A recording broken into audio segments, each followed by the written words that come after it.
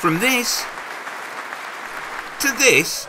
Mr. Speaker, I am a fighter and not a quitter. And finally, this. I have therefore spoken to His Majesty the King to notify him that I am resigning as leader of the Conservative Party. All in 49 days. Over the next week, we'll be looking at Liz Truss's tenure as Prime Minister, focusing in on the chaos and the fallout. Today, we start with a summing up from Beth Rigby on Sky when she interviewed Truss after the introduction of the disastrous mini budget. Prime Minister, you've been in power for 28 days, but 10 of those politics was paused.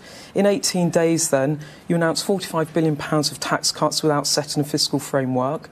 It precipitated a £65 billion emergency bond buying programme by the Bank of England to protect pension funds. The pound tanked.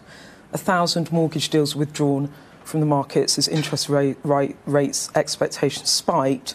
You established a 33 point lead for Labour in the polls and now the lady not for turning has announced a massive U turn on a policy. This is surely the worst start of any Prime Minister. Crushing, but listen to Truss's comeback as she regurgitates a scripted response. Well, let's remember what we were facing four weeks ago. But do you accept we were that it's facing, been a bad start? We were facing families having energy bills of up to £6,000 we were facing inflation that could have been 5% higher. Blah, blah, blah.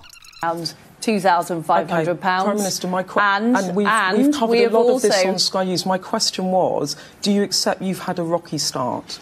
Well, what I am saying is that we have acted decisively in the face of very, very difficult international circumstances okay, where it... Putin has been perpetrating. Obviously, she doesn't answer the question even when Beth Rigby rephrases it.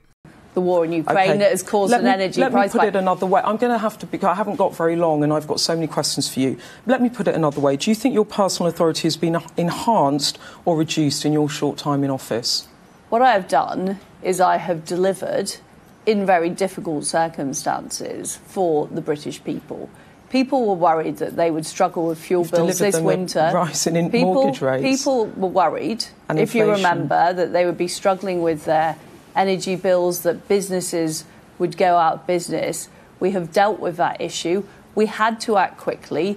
We okay. had to do that mini budget in the circumstances to be able to deal with slowing economic growth. What a shame we only had 49 days of this. Think of what she could have achieved if she was still Prime Minister now. And with energy so bills. So you don't accept will... you don't accept you've had a bad start and you don't accept that your leadership has been troubled in the start of your premiership. Just to be clear, you don't accept that question. I've always been very clear and I was clear during the leadership election that we are facing very tough economic times. Click here for some more Truss related chaos.